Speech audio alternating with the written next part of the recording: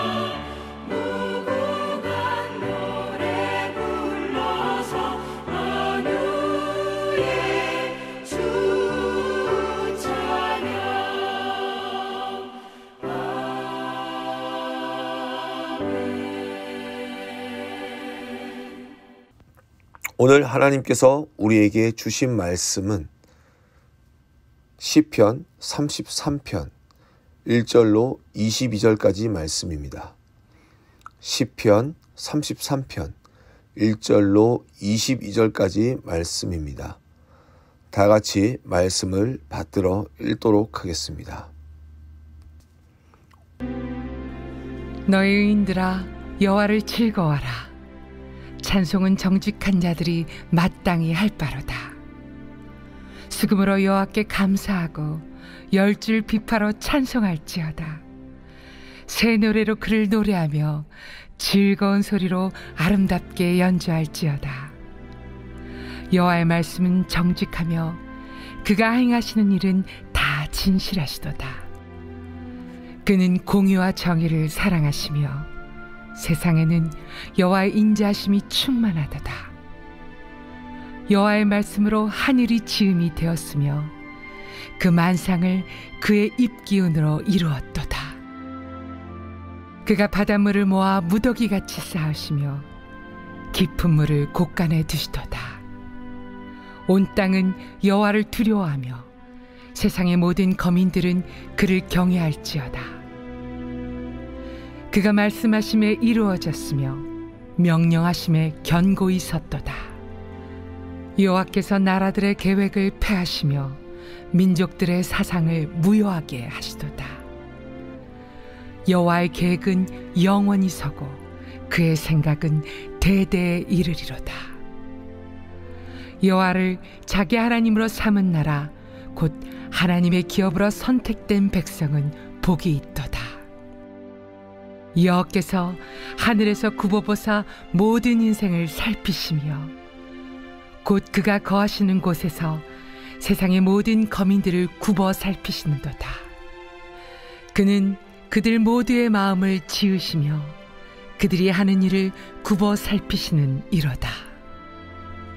많은 군대로 구원 얻은 왕이 없으며 용사가 힘이 세어도 스스로 구원하지 못하는도다. 구원하는 데 군만은 헛되며 군대가 많다 하여도 능히 구하지 못하는도다.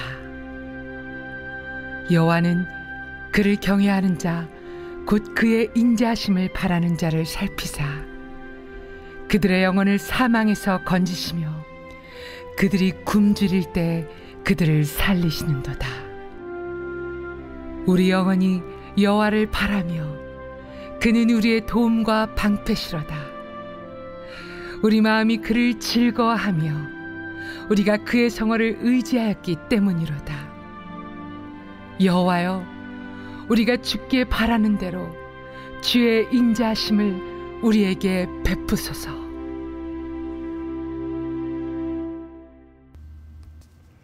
오늘 하나님께서 우리에게 주신 말씀을 가지고 찬송, 정직한 자들의 노래 라는 제목으로 여러분과 말씀을 나누길 원합니다. 우리가 삶을 살다 보면 언제 우리가 노래해야 되는가? 그 노래라는 것은 항상 분위기와 연관이 되어져 있습니다. 기쁠 때는 기쁜 노래를 불러야 되고 슬플 때는 슬픈 노래를 불러야 합니다. 또 누군가에게 마음을 전하고 싶을 때는 사랑의 노래를 불러야 할 것입니다. 그런데 오늘 본문 1절에서 시편 기자는 우리에게 하나님을 그냥 찬양하라 라고 계속 촉구하고 있습니다. 오늘 1절 말씀 우리 같이 읽어보겠습니다. 너희 의인들아 여호와를 즐거워하라.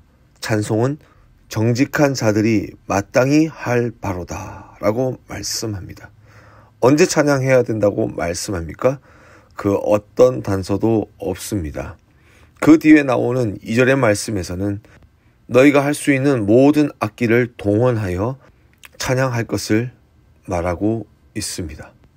여기까지만 보더라도 하나님의 백성들은 항상 하나님을 찬양할 준비를 해야 하며 무엇을 하든지 슬픈 일이든 기쁜 일을 당하든지 간에 하나님을 찬양함이 마땅한 삶이 되어야 한다라고 말씀합니다.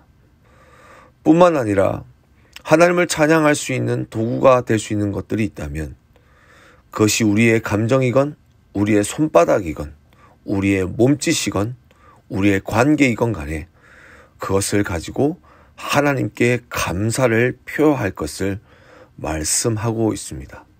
그래서 성경에서 보면 전쟁을 나아갈 때에 찬송하지만 전쟁 가운데서도 찬송을 하고 예배를 드리는 가운데서도 예배를 나아가는 가운데서도 찬송을 하며 요나서에서 보면 물고기 뱃속에서도 찬양을 하고 있으며 나라가 망하였을 때 예레미야 에가서에 나오는 것처럼 애곡하며 하나님을 찬송하고 있고 하나님께서 구원하심을 인하여 찬송하며 심지어 감옥에 갇히고 순교를 당하는 그 순간까지 하나님의 사람들은 찬송하였습니다. 그래서 시편 기자는 다른 사람이 불렀던 노래가 아니라 다윗이 불렀으며 요나가 불렀으며 바울이 불렀던 노래가 아니라 새 노래로 이전에 없었던 노래로 너는 하나님을 노래하고 즐거운 소리로 아름답게 연주하라 라고 말씀하고 있습니다. 이것은 우리의 삶 가운데 주시는 은혜가 다르며 우리가 처한 상황이 다르며 이 땅 가운데 나라는 이 존재는 세상 가운데 하나님이 만드신 유일한 작품이기에 우리가 부르는 이 노래는 바로 새 노래가 되어야 한다라고 말씀합니다. 여기서 말하는 의인은 결코 행위로 받은 의가 아닙니다. 하나님의 의는 바로 죄인을 구원하신 예수 그리스도 십자가를 바라보는 그들에게 주시는 믿음의 의인 것입니다. 그러나 여기서 하나님의 은혜로 의인이 되었으나 정직한 자가 되지 아니하면 하나님을 찬송할 수 없다라고 말씀합니다. 오직 정직한 자들만이 하나님의 것을 하나님의 것으로 있는 그대로 받아들이는 자들만이 하나님을 인정하는 자들만이 하나님을 찬송할 수 있다라고 말씀합니다. 그 찬송의 이유는 무엇입니까? 첫 번째로 하나님은 진실하시기 때문입니다. 하나님의 말씀은 정직합니다. 공의로우십니다. 뿐만 아니라 그 정확한 공의 속에 하나님의 허세트, 하나님의 은혜와 인자하심이 충만하다라고 말씀합니다. 이것은 비록 우리가 하나님의 말씀을 온전히 모두 순종할 수는 없지만 그것을 아시고 우리를 도우시는 하나님의 은혜를 인하여 하나님의 백성이 되고 하나님의 의를 입었을 뿐만 아니라 어떤 인간적인 실수와 넘어짐 속에서도 폐기하지 아니하시는 하나님의 언약을 통하여 하나님은 하나님의 백성을 결코 떠나지 아니하시고 끝까지 사랑하시기 때문입니다. 두 번째는 하나님의 위대함을 인하여 찬송해야 합니다. 6절 말씀에 여호와의 말씀으로 하늘이 지음이 되었으며 그 만상을 그의 입 기운으로 이루었도다. 그렇습니다. 하나님께서는 말씀으로 세계와 우주를 창조하셨습니다.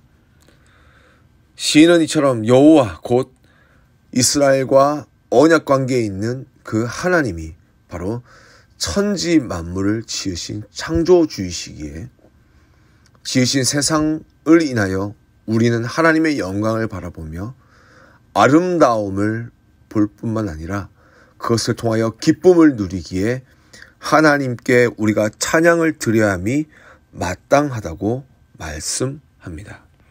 세 번째로 우리가 하나님을 찬양해야 하는 그 이유는 하나님은 영원하시기 때문입니다. 11절에서 시인은 여호와의 계획은 영원히 서고 그의 생각은 대대에 이르리로다 라고 말씀합니다. 하나님은 영원하십니다. 뿐만 아니라 하나님은 하나님의 백성에게 자신이 가지고 있는 영원한 생명을 아들을 믿는 자들에게 허락해 주셨습니다. 정말 우리가 누릴 수 없고 사람이 만들 수 없으며 세상이 줄 수 없는 그 영원한 생명을 주시기 위하여 하나님께서 이 땅 가운데 직접 내려오셨습니다.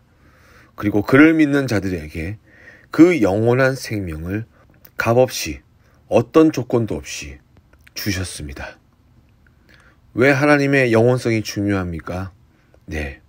우리는 그 하나님이 영원하시다는 그 사실을 알게 됨으로써 영원한 세계가 있고 그 영원한 세계로 하나님께서 우리를 초대하고 계시기 때문입니다. 그래서 12절 말씀에 시편 기자는 이렇게 고백합니다. 여호와를 자기 하나님으로 삼는 나라 곧 하나님의 기업으로 선택된 백성은 복이 있도다. 육신으로 살다가 흙으로 반드시 돌아가는 인생에게 있어서 세상에서 수많은 복들이 있지만 그 많은 복들 가운데 가장 위대한 복은 바로 예수 그리스도의 십자가로 인하여 얻게 되는 영원한 생명입니다. 네 번째 하나님을 찬양해야 할 이유가 있습니다. 그것은 하나님께서 우리의 인생을 보살피시기 때문입니다. 하나님의 백성은 자신의 능력으로 살아가는 사람들이 아닙니다. 믿음을 통하여 하나님의 능력을 힘입어 살아가는 사람들입니다. 세상에 도움도 얻을 수 있습니다. 하지만 그 도움이 찾아온다고 해서 나의 문제가 결코 완전히 해결되지 아니한 것은 세상에는 더 큰 어려움이 있기 때문입니다. 하지만 우리가 하나님의 도우심을 인하여 감사할 수 있는 것은 세상의 어떤 어려움보다 하나님이 더 크시고 어떤 어두움보다 하나님은 더 밝으시며 어떤 장애물보다 하나님께서는 더 위대하시기 때문입니다. 사랑하는 프라미스 성도 여러분, 여러분 여러분의 삶 가운데 하나님을 찬송해야 하는 이유가 무엇입니까? 무엇이든지 간에 하나님을 찬송하십시오. 하나님께서 반드시 우리의 도움과 방패가 되어 주실 줄 믿습니다. 하나님의 인자하심이 우리를 정령 따라서 우리가 사망의 음침한 골짜기로 다닐지라도 우리가 해를 두려워하지 아니할 것은 주께서 나와 함께 하심이라고 고백하는 놀라운 믿음의 고백이 우리의 삶 가운데 하나님을 찬송할 수 있는 제목이 될 수 있기를 주님의 이름으로 축복합니다. 팬데믹으로 인하여 많은 어려움을 당하고 있습니다.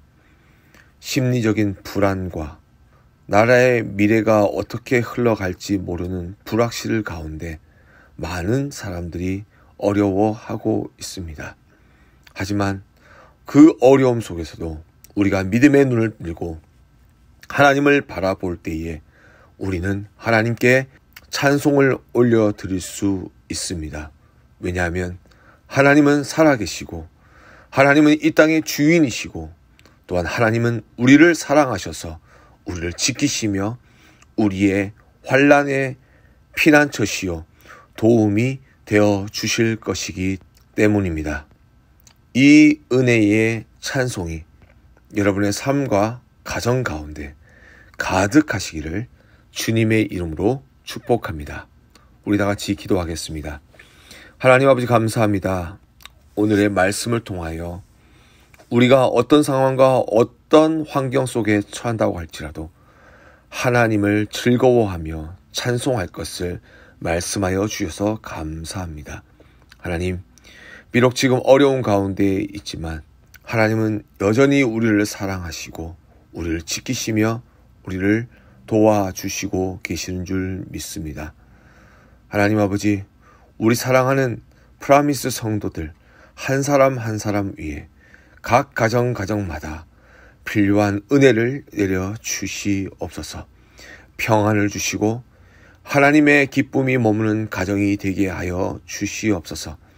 세상의 모진 풍파 속에 흔들리지 아니하는 말씀의 반석 위에 굳게 세운 믿음의 가정, 믿음의 삶이 되게 하여 주시어서 늘 주님께서 주시는 은혜를 통하여 날마다 새 노래로 여호와를 찬송할 수 있는 복된 삶과 가정이 되게 하여 주시옵소서. 예수님의 이름으로 간절히 기도드렸습니다. 아멘. 하늘에 계신 우리 아버지여 이름이 거룩히 여김을 받으시오며 나라 임하옵시며 뜻이 하늘에서 이루어진 것 같이 땅에서도 이루어지이다. 오늘날 우리에게 일용할 양식을 주옵시고 우리가 우리에게 죄 지은 자를 사하여 준 것 같이 우리의 죄를 사하여 주옵시고 우리를 시험에 들게 하지 마옵시고 다만 악에서 구하옵소서. 대개 나라와 권세와 영광이 아버지께 영원히 있사옵나이다. 아멘.